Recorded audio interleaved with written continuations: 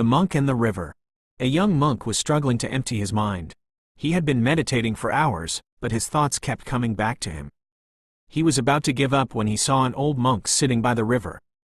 The old monk was completely still, and his face was serene. The young monk went up to the old monk and asked him how he could empty his mind. The old monk said, Come, sit with me and watch the river. The young monk sat down next to the old monk and they watched the river flow by. After a while, the young monk said, I don't understand. How is watching the river going to help me empty my mind? The old monk said, The river is always changing. The water is always flowing. If you watch the river closely, you will see that there is no one thing that you can hold on to. The river is constantly changing, and so are your thoughts. If you can learn to let go of your thoughts, you will be able to empty your mind. The young monk continued to watch the river, and slowly he began to understand what the old monk was saying. He saw that his thoughts were like the water in the river. They were constantly flowing, and there was no one thing that he could hold on to.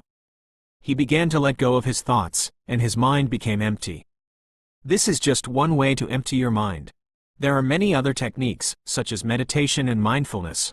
The important thing is to find a technique that works for you and to practice it regularly.